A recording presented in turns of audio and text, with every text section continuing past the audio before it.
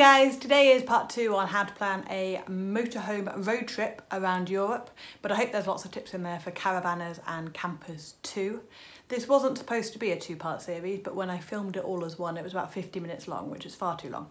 So I split it into two for you. This episode is just dedicated to camping overnight spots, wild camping campsites, how we find them. I hope you find some useful pointers in here, especially if you've never done it before. It can be, in fact it was for us, incredibly intimidating to go overseas, not really understand the rules or where you're particularly heading. And that first time we found it's quite scary.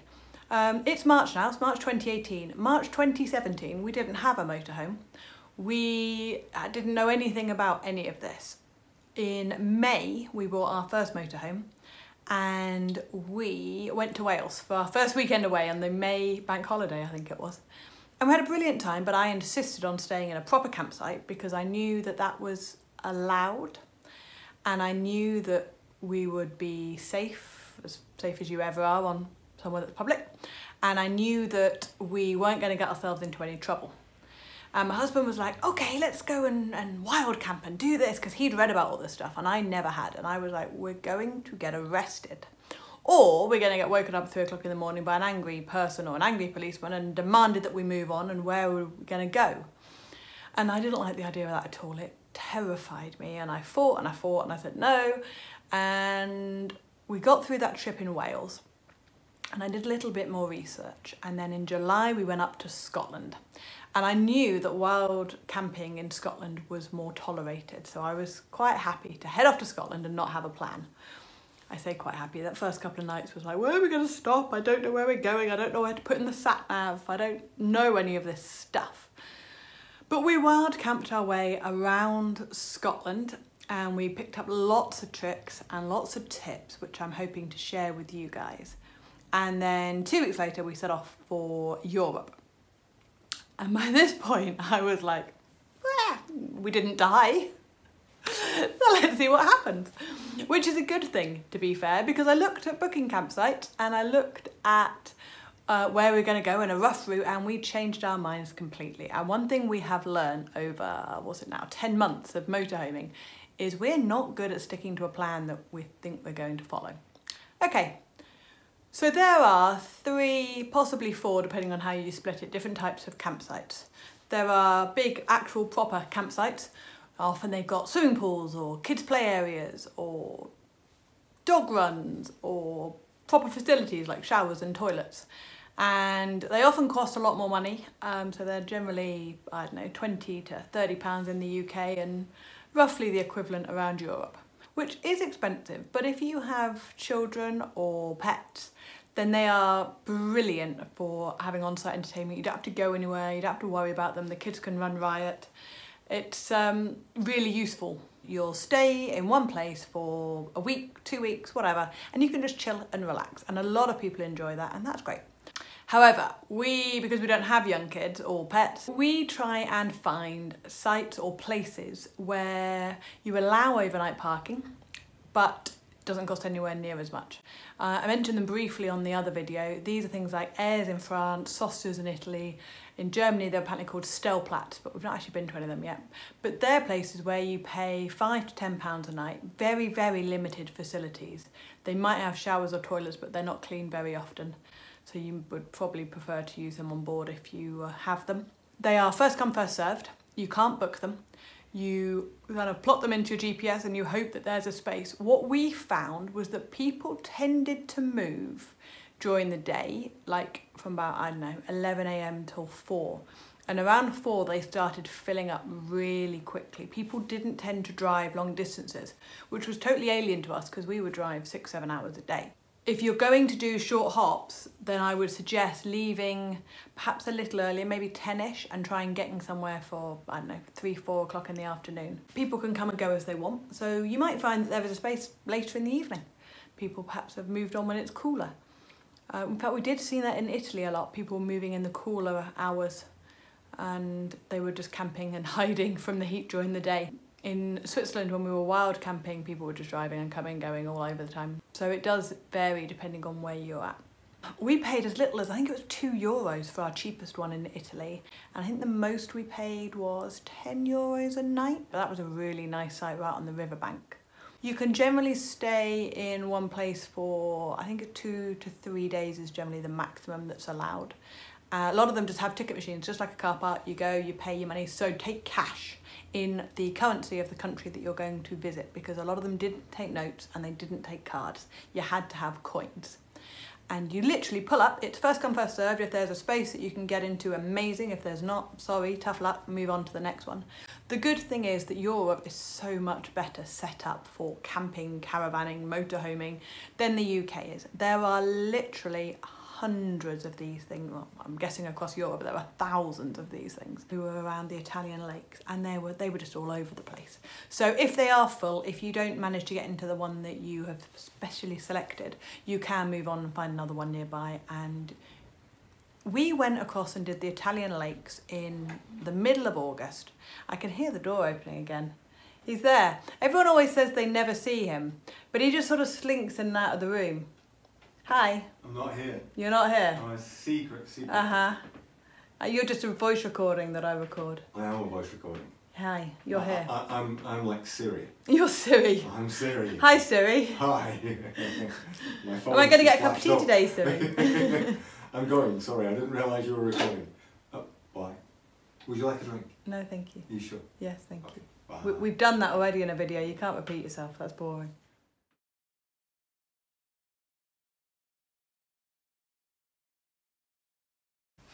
Sorry about that. I don't even know where I was anymore. Um, what was I talking about?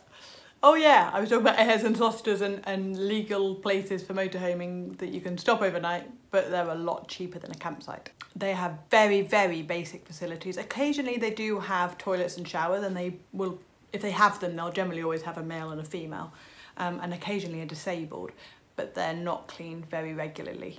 And I think if you're used to UK campsites, you'll find some of them quite shocking. They're generally pretty manky, full of spider webs, um, and I would suggest if you have facilities on board your own vehicle, you use them. But if you don't, they do have them there, and maybe you don't mind spiders. Um, me and Jade generally would never go in them, but that's okay because we have showers and toilets on board, so we're fine. They generally all have a water refill point, a chemical waste disposal point, and a grey waste disposal point. and a lot of them had what's called a motorhome service point, so you could just pull in and you can empty all your waste at the same time you can empty your toilet and you can refill with fresh water. While I'm on the subject of fresh water, I would advise that you never ever ever drink the water from any tap across Europe. Use it for showering, for cleaning. If you're going to boil it for drinks, then fine, but we always, always buy and use bottled water for drinking. To be honest, even in our kettle, we will put bottled water in, which might be a waste of money, but at least we don't get some nasty stomach bug. Um, they're just not always drinkable and they're not always clearly labelled if they are or are not. So I would recommend that you don't use them. But those are the aires and the sausages and we prefer them purely because they are designated motorhome or caravan parking areas. I want to reassure everyone who's like, I can't possibly do that, it's too terrifying. Actually, it's not. It just takes a little bit of knowledge and then a little bit of, honestly, guts um, to just do it. And you could always have a campsite booked somewhere if it makes you feel better. The last type of campsite, if you like, or camping place uh, is wild camping. As I think I mentioned on a previous video, they are not really legal because everywhere in Europe is owned by someone. And most of the time, you're not allowed, you don't certainly don't have any rights to just pull up and stay for the night. You might well get away with it if you're in a very quiet, secluded area, or if you have a camper van that looks like a normal van, you might well get away with it. But if you're a motorhome or a caravan, it, it's your own risk. If you're not worried about being woken up in the middle of the night by some angry person asking that you move off their land, fine, go for it. You might get a free night's sleep.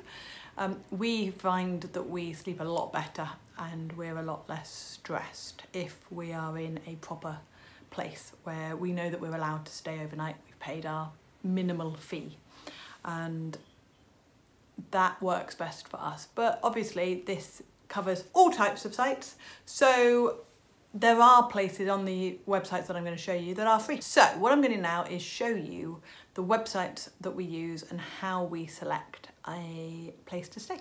So I'm going to do this in real time with you to show you how we find somewhere to stop. The very first place that I ever go to is searchforsites.co.uk. Um, just to avoid any doubt, I am in no way affiliated with these guys. They're just a great site that I use on a weekly basis and I highly, highly recommend them. So, one of the first places in Germany that we're going to go near is Basel, which is actually in Switzerland. But as you can see, it's right on the border between um, Switzerland and Germany. So I type in Basel, as I've just done, and you can see here all these motorhome stop points. Now, just to the right, you've got an independent campsites, which are these green tents. You've got overnight parking, no services, which I think, yeah, they're the light blue. And if you saw what I did then, I just press where the little tick is and that gets rid of them. So if we didn't want an independent campsite, you deselect it and you saw the little green tent had disappeared. We've got overnight parking, which is the lighter blue, and we've got overnight parking with services, which is the darker blue. And often there are many, many different types down here, but those are obviously the only three that are available within our search radius. I'm not sure how big the search radius is. I think the maximum is 50 miles that comes up from your centre point, which for us today is Basel. And you can see that little black line, so that is the border of Switzerland and Germany. Now we're going somewhere around here. So actually these ones here are very interesting to us. So I'm just going to randomly click on one and I will tell you now it takes me maybe half an hour to an hour sometimes to find a place that I really like the look of. So don't expect it to take 30 seconds. It can do, you can just select the first one you, you click on, but we tend to uh, take a little bit longer. So here it's got authorised motorhome parking, day or night, no services. No services doesn't bother me. Now this says it's free. Perfect. Have you been here? We go to the first one, the first review, and the first thing I always look at is we didn't stop here because there's a height barrier of 2.1 metres. Now, us and most other motorhomes are not going to get under 2.1 metres, so immediately I'm shutting that down. Now, there isn't a way, unfortunately, of putting an X on it so that we know next time we come to look at that that we can't go there. I wish there was. If anyone here from Search for Sites is watching, please just, just put a little thing so we can deselect it because that would be brilliant. So the next one we go on to is authorised motorhome parking day or night, no services, fine. Located a small car park close to restaurant. Car park is small, not good for a large motorhome. Again, that doesn't sound good for us. See what it takes a little while. To shut down that one. Let's click on the next one. That looks like the same place. Got the same name. So let's go here. San Luis La Chaussee. La Chaussee. Overnight parking, no services. We really liked this place, although we were a bit confused by the barriers when we arrived. There were people in the building despite it being closed to the public in winter, so we asked if we could park for the night. The place was quite busy with lots of walkers, so felt safe to leave the motorhome in the day. Kind of weird knowing you don't have your passport. We did that in Italy. We crossed into Switzerland without even realising it. Like, oops, accidental invasion. Okay, so those actually sound quite positive. It's open from January to December. Pay attention. A lot of them aren't open during the winter. And there have been a few times when we're like, yes, go there, and then notice that it's been shut. So there are obviously toilets.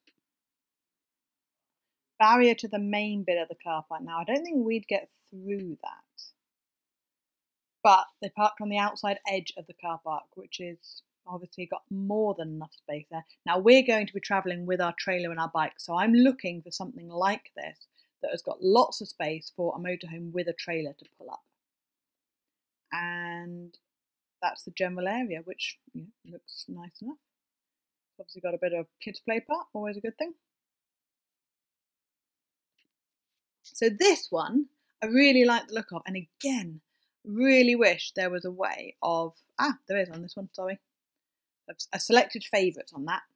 So if I now go back to my site and press refresh, I wonder yeah, I've never used that before. There we go. I've now got a little heart on the one that I like the look of. It's good to know. That's good to know. So I've done those three. I like the look of that one. Let's go for one that has got services. This is an overnight motorhome service point and a night stop. So again, there aren't any reviews, nobody's been there. Now, those there are definitely motorhome parking bays, although it looks a bit odd. If you were in either of those corners and there was somebody parked here, I think you'd struggle getting out of those. Interesting. Interesting. That would worry me slightly, although I suppose you could park in one of the other ones. And that looks good. That's £11 for the, uh, 11 euros, sorry, for the night. And shut. So, there are obviously toilets. That looks like quite a decent barrier to the main bit of the car park. Now, I don't think we'd get through that. But they parked on the outside edge of the car park, which is obviously got more than enough space there. Now, we're going to be travelling with our trailer and our bike, so I'm looking for something like this that has got lots of space for a motorhome with a trailer to pull up. And that's the general area, which know, looks nice enough. Obviously got a bit of kids play part, always a good thing. So this one, I really like the look of, and again, really wish there was a way of, ah, there is on this one, sorry, a selected favourites on that. So if I now go back to my site and press refresh, I wonder, yeah, I've never used that before. There we go. I've now got a little heart on the one that I like the look of. It's good to know. That's good to know. So I've got all of those in that area for Basel. I would select the one that we've got the little heart on. Now again, these are just pull up. So you can change your mind. It doesn't matter. If we decide to come in by another route, you can lose, you can use search for sites on an iPad, which I do all the time when we're driving, or if you get car sick, stop and do it, uh, and just pick a route, and that shows you where you want to go. Okay, so let's shut those windows down. The second website that we use is called Camper Contact. Now, this was recommended to us by one of our subscribers called Bill, and thank you very much, Bill. We really, really appreciate it. Never heard of this before, but look how many. This is just Germany, and if you click on that one there's all across Europe. We're going to stay with Germany, um, but all across Europe, it's got these. And so we know where we're going. We're going down this corner here. We're going to zoom in. There's Basel there. So that's what the area that we're looking at. Now, I don't actually know which route we're going to do this. I don't know where, when we're going to go to Basel. It might be our first one. It might be later in. I'm just doing this to illustrate how I would find somewhere. So again, obviously they haven't got any down here because these are just the German sites. Let's click on this one. Rhine Stellplatz. Now, Germany, they're called Stellplatz. I'm guessing this is on the banks of the Rhine. Oh, look at that. Okay, I may have just found a new site that I like. How stunning. Monster bridge, but that's pretty. Now, one thing I just need to see is how big the space. Yeah, that's see, this is a problem.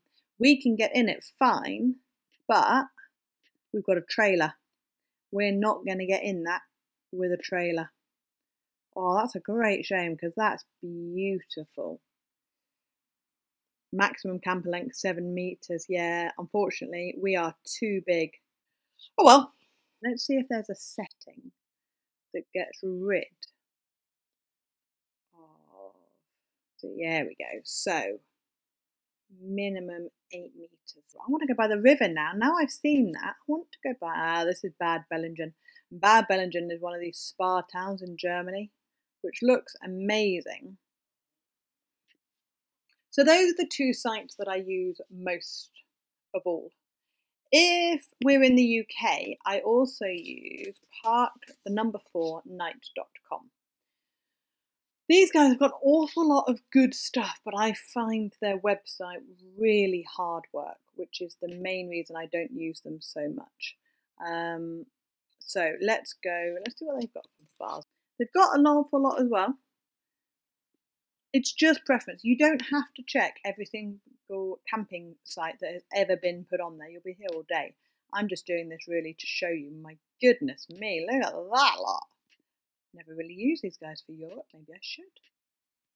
Maybe I should. And the reason we use them in the UK as well is because it shows you where you can stay basically for free. Loving design near Basel. This is um, for six motorhomes. Paved square, small green areas, and a barbecue. 11 euros. It seems like the German sites are more expensive than the Italian sites so far. I would say we're looking at around 10 euros per night. I don't know what the green is. Free place. Ooh, with a swimming pool.